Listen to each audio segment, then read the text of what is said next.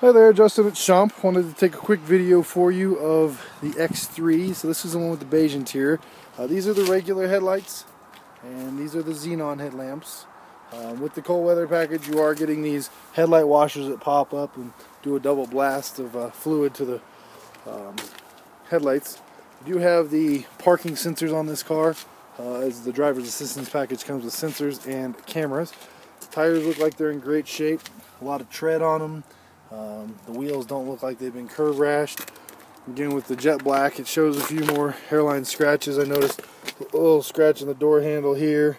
And again, I'm nitpicking it. A couple scuffs in the, the paint here and here. So, minor stuff, but um, uh, other than that, I didn't see any defects on the rest of the vehicle.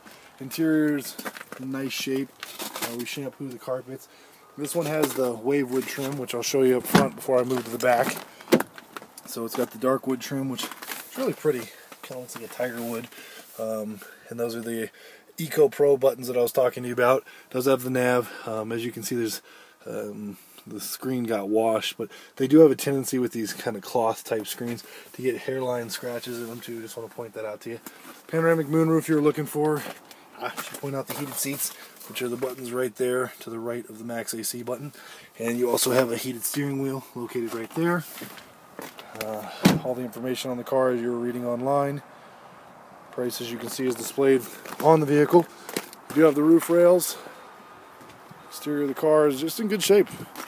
Move over here real fast, not to make this video too long. And there is the jet black one. Uh, see if it's unlocked. With the more basic vehicle, it is the leatherette with the chrome interior.